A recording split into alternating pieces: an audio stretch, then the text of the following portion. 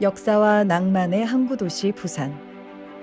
70년 전 부산은 대한민국의 운명을 짊어진 곳이었습니다. 전쟁의 포화를 피해 내려온 수많은 피란민들의 발걸음은 부산을 향했고 몰려든 인파 탓에 지낼 곳이 턱없이 부족해지자 그들은 산으로 심지어는 묘지로 올라가야만 했었죠. 시간이 멈춘 듯 그 시절에 애환이 남아있는 피란 수도 부산에서 그 역사의 흔적들을 찾아 지금 떠나보시죠.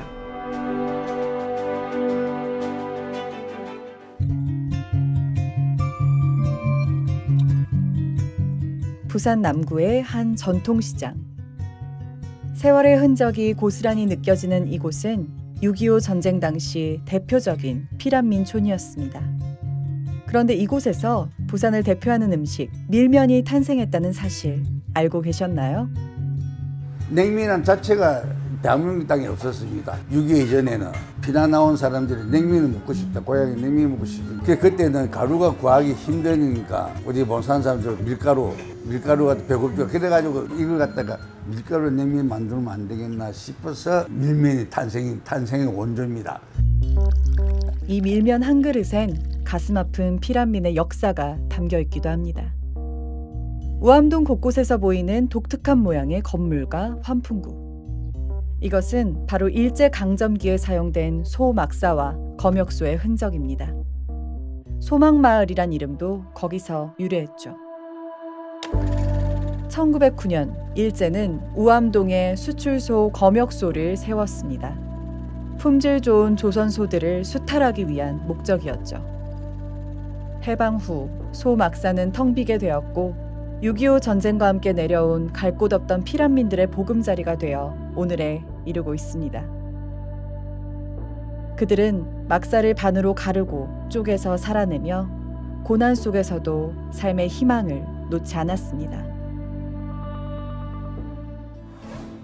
70년의 시간이 지난 오늘 우암동 소망마을은 색다른 변신을 시도하고 있습니다. 과거 피란민들을 불러왔던 텅 빈 소막사에 이제 역사와 문화가 빼곡히 채워지고 있고 자연을 느끼며 걸을 수 있는 도시 숲 산책로와 아름다운 부산의 전망까지 더해져 소망마을은 이제 부산의 새로운 명소가 되어가고 있습니다.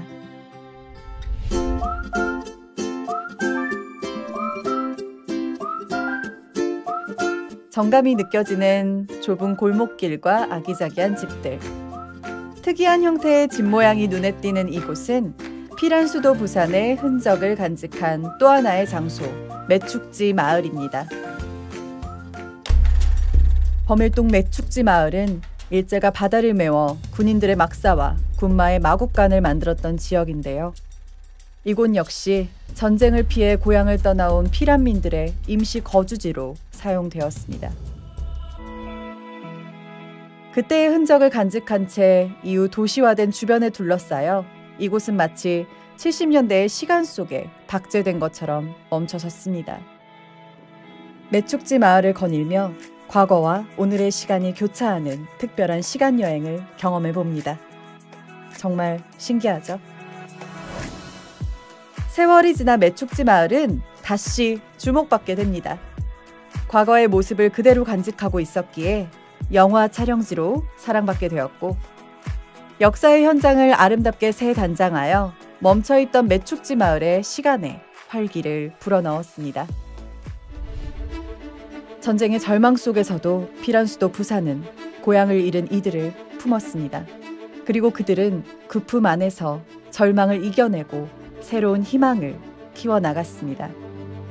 세계인들이 병마와 힘겨운 싸움을 이겨내고 있는 오늘 역경을 딛고 다시 일어선 그 시절의 부산에서처럼 새로운 용기로 열어가는 희망찬 내일을 소망해 봅니다.